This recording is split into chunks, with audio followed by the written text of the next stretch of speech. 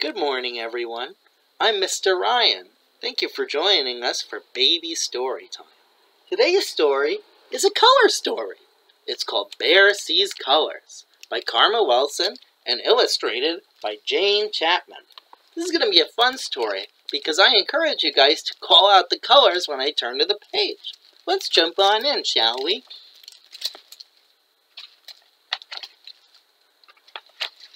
Mouse and bear are walking, they are chitter chatter talking, so much for them to do. And the bear sees, what color is this? It's blue! Blue flowers by the trail, blueberries, blue bear, blue, blue, everywhere. Can you spy along with bear? Along the trail hops Hare! Howdy do there, Mouse and Bear. Hare points up ahead, and the hare, and the bear, and the mouse. See? What color is this? It's red! Red blossoms, red cherries, red juicy raspberries. Red, red, everywhere. Can you spy red with bear? I sure can.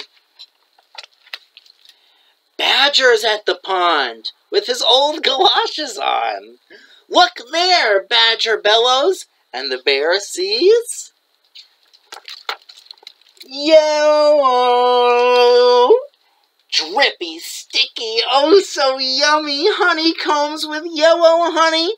Yellow, yellow, everywhere.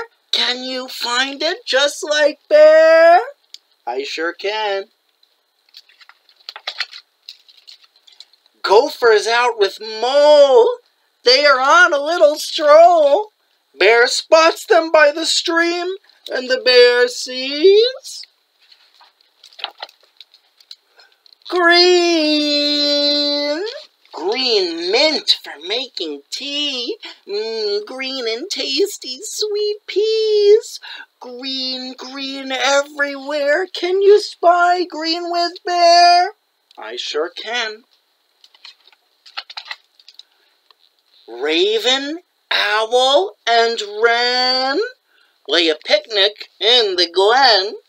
The friends all gather around, and the friends see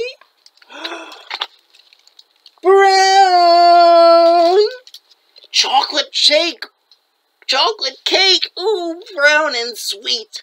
Brown cookies, such a treat. Brown eyes, brown hair, friendly, fluffy, brown bear. colors, colors everywhere. Can you find colors just like bear? Take a look at this picture. Try and identify all the colors you can see. That's the end. Thanks for joining us, everyone. I had a lot of fun with you today and I hope to see you guys again soon. I hope you're staying well and staying active and making the best of yourselves. So until then, see you guys.